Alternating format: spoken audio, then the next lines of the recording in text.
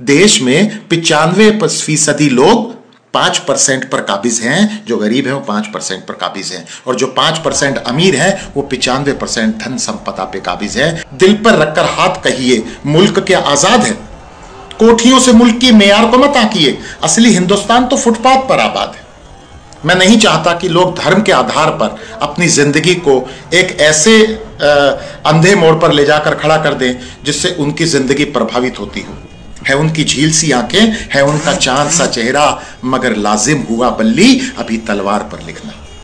मेरी एक Facebook post पर, जो मैंने निज़ामुद्दीन, जो मरकज़ पर लगाई थी, उस पर यहाँ के पुलिस प्रशासन को दिक्कत हुई, और उन्होंने मुझे थाने में डिटेन किया। मैंने ये बोला कि मैं एक जिम्मेदार नागरिक हूँ, और ज़िम्मेदारी से लिखता हूँ, और एक रंगकर्मी भी हूँ। इस नाते मेरी समाज में एक नैतिक ज़िम्मेदारी है कि मैं किसी भी घटना को, किसी भी ऐसे पोस्ट को, अपनी स्टेटस को इस तरह से ना लगाऊँ जिससे समाज में वैमनस्य हो, जिससे समाज में विघटन हो, जिससे समाज में एक तबका दूसरे तब, तबके से हिकारत करे या नफरत करे, या मैं उस तरीके की मिस इन्फॉर्मेशन वाली पोस्ट लगाऊँ, झूठी पोस्ट लगाऊँ, या ऐसे तबके पर टारगेट करूँ जिस, जो समाज का जिम्मेदार तबका है या कोई भी नागरिक है। मैंने निज़ामुद्दीन की पोस्ट लगाई थी। उसमें सारे ऑथेंटिक डाटा थे, जिसमें यह लिखा था कि किसी भी धर्म स्थल पर, हम किसी भी धर्म स्थल पर शरण लेते हैं, आम तौर पर जब लॉकडाउन हो जाता है। तो उसमें गोल्डन टेंपल भी था, उसमें मरकज भी था, उसमें शिरडी का साईं बाबा मंदिर भी था, उसमें तिरुपति भी था, उसमें वैष्णो देवी मंदिर भी था, उसमें बहुत सारे लोग फंसे हुए थे। तो मीडिया ने चालबाजी करके, एक बारीक लाइन करके ये कहा कि फला जगह पर तो लोग फंसे हुए हैं और फला जगह पर लोग छुपे हुए हैं। तो ये बारीक सी जो नफरत की लाइन है, इसको मीडिया बड़े ही शातिराना अंदाज से पेश कर रहा है। ये सवाल मैंने नेशनल मीडिया पर उठाया था। जहाँ तक धर्म की बात है तो मित्रों, मेरी विचारधारा के रूप में मैं एक सिख परिवार में ज़रूर पैदा हुआ हूँ, लेकिन मैं किसी धर्म को, संगठित धर्म को नहीं मानता और मैं सबको खारिज करता हूँ। मैं नहीं चाहता कि लोग धर्म के आधार पर अपनी ज़िंदगी को एक ऐसे अंधे मोड़ पर ले जाकर खड़ा कर दें जिससे उनकी ज़िंदगी प्रभावित होती हो। जो ओझा के चक्कर में आए, वो किसी ऐसे धर्मान, धर्माधिकारी के चक्कर में आए जिससे उनकी ज़िंदगी जो आसान होने की बजाय, दोस्तों, हमारे सिर में भी दर्द होता है तो पैरासीटामोल वो मुस्लिम पर भी काम करती है और हिंदू पर भी काम करती है और किसी भी धर्म के आदमी पर काम करती है। तो जब पत्रकारिता में भी ये है। जब पत्रकारिता हम हम करते हैं तो हमारी नैतिक ज़िम्मेदारी होती है कि हम समाज की पक्षधरता रखें। हम सरकार पर उस सवाल उठाते रहें, सरकार की हर उस चीज़ पर सवाल उठाते रहें, जिससे जनता की ज़िंदगी जनता आम जनता की ज़िंदगी प्रभावित होती हो। जिससे लोअर तबका, जो नीचे का तबका है, जो हैंड टू माउथ है, अपनी ज़िंदगी जीने के लिए वो किसी भी तरीके से संघर्ष करता है, दो वक्त की रोजी रोटी गुजारता है। हम उसके पक्ष की बात करें। तब हम उन जो वंचित तबका है, जो शासीय पर तबका है, जो देश का सत्तर परसेंट तबका है, उन तबके पर, जबकि ये ऑक्सफेम के भी आंकड़े आते हैं कि पचास घरानों के पास तिहत्तर परसेंट पूंजी और संपदा है देश की। तो ऐसे में सवाल उठाना लाजिम हो जाता है कि किसी भी सरकार पर, कि देश के वो वंचित तबका, वो जो नीचे का तबका है, जो रोज हैंड टू माउथ है, जिसके पास रोजी रोटी इसी आधार पर है कि शाम को वो कितना कमा के लाएगा और कितना आटा और घी और तेल लाएगा और उसके बाद वो अपने बच्चों का पेट पालेगा।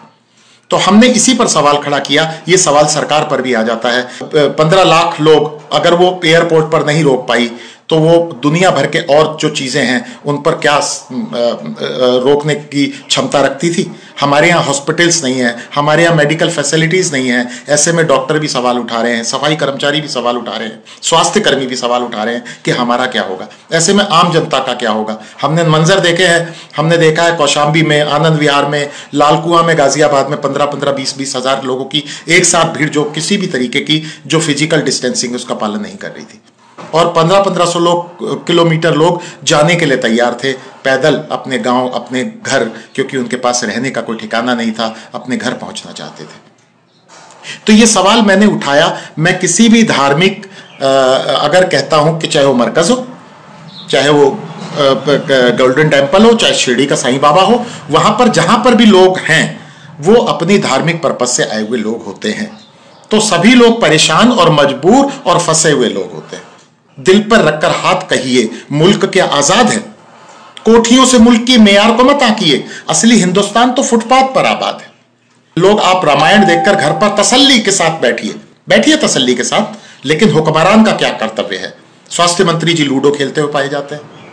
कोई मंत्री रामायण देख के फ़ोटो अपने अपलोड कर रहा है ट्विटर पर तो मैं कहता हूँ, आपकी ज़िम्मेदारी है आप सड़कों पर उतरे हुए लोगों के साथ बैठे, उनकी समस्याएँ सुने। बल्ली सिंह चीमा जी ने लिखा था कि वो रोज कहते हैं, मुझसे गुलो गुलजार पर लिखना, मगर कहा है कल के दंगे ने जले बाज़ार पे लिखना। बुलाकर फ़िक्र रोटी की, बुलाकर फ़िक्र दुनिया की, मुझको बिल्कुल नहीं भाता तुम्हारे प्यार पर लिखना। है उनकी झील सी आँखें, है उनका चाँद सा चेहरा, मगर लाजिम हुआ बल्ली अभी तलवार पर लिखना। तो इसलिए हम बोलने के लिए हमें संवैधानिक स्वतंत्रता मिली है कि हम किसी भी गलत चीज़ पर बोलें। मैंने बोला, थाने में बोला कि मैं एक जिम्मेदार नागरिक हूँ, मैं ज़िम्मेदारी से लिख रहा हूँ, मैं पैमाने से नहीं फैला रहा और मैं सरकार पर सवाल उठा रहा हूँ और फ़िलहाल अपने मीडिया के पत्रकारों पर सवाल उठा रहा हूँ, नेशनल मीडिया पर सवाल उठा रहा हूँ कि आप किस तरह से पत्रकारिता कर रहे हैं कि आप जहर घोल रहे हैं लोगों के बीच में। ये हमारे देश की जनता है और कुल मिला के हमारा तो मानना है कि दो तरीके की दुनिया में आबादी है, एक गरीब है और दूसरा अमीर है। अमीर को सब सुविधाएँ सहज हो जाती हैं, मिल जाएँगी। पता है?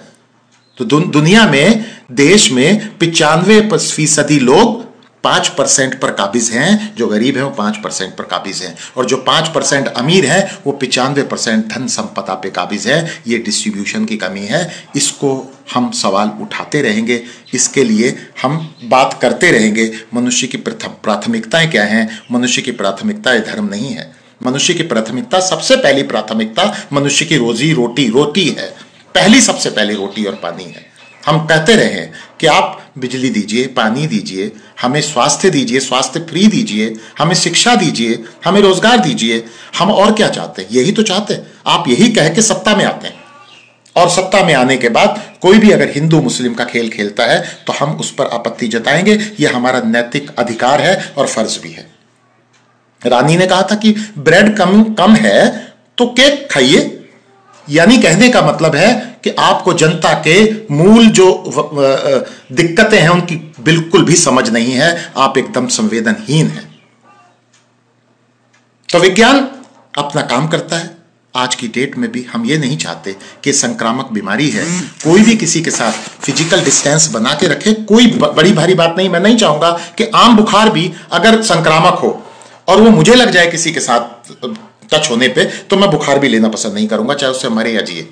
क्वाजोक्वाइटिस होता था जो आँख में बीमारी हो जाती थी, जिसे आई फ्लू बोलते हैं, वो भी हो जाता था सामने। तो वो भी नहीं चाहता कि आई फ्लू हो, जिससे मरता नहीं आदमी। सिर्फ़ आप कुछ दिनों बाद दर्द करते हैं सही हो जाती। है लेकिन ये इतना बड़ा बीमारी है, जो पूरी दुनिया में है और पूरी दुनिया से हमारे देश में भी आएगी। तो मैं चाहता हूँ सरकार इस पर प्रबंध करती, अगर वो पंद्रह लाख लोगों को रोक लेती, चलिए नहीं रोका। उसके बाद भी बहुत सारा समय था जिसमें धार्मिक स्थल थे, बहुत सारे ये सरकार की ड्यूटी होती है, उनके पास बहुत बड़ा स्ट्रक्चर होता है, उनके पास एल होती है, उनके पास पुलिस होती है, उनके पास एस होता है, उनके पास डीएम होता है, और उनके पास बहुत सारी ऐसी संस्थाएँ हैं आंगनबाड़ी से लेके, और वो चुनाव में तमाम तरीके के इस्तेमाल भी करते हैं, अध्यापकों का इस्तेमाल करते हैं। तो ऐसे में करते इस्तेमाल। स्कूल्स का इस्तेमाल करते जहाँ पर क्वारंटीन सेंटर बनाए जाते ताकि लोगों को वहाँ पर आराम से रख दिया जाता तो ये देश में आपदा नहीं आती, लॉकडाउन की स्थिति नहीं आती। अभी इस समय पूरी देश में आर्थिक दिक्कत आने वाली है। मैं मिडिल क्लास से बिलोंग करता हूँ। मैं जानता हूँ छह महीने से मेरा बिज़नेस बद्रीनाथ में है, वो बंद पड़ा है और तेईस अप्रैल से शुरू होना है और मुझे लाखों रुपए की किस्त बैंक में भरनी पड़ती है और हम समझ, समझते हैं कि दो तीन महीने हम कमा के बैंक की किस्त देंगे। अपने जो वहाँ पर बच्चे फोटोग्राफी करते हैं, या मेरा स्टाफ है, या मेरी बिजली है, या मेरा किराया है, या हम लोगों की ज़िंदगी चलती है, मेरा घर परिवार चलेगा, वो कैसे चलेगा, अब मुझे समझ में नहीं आ रहा।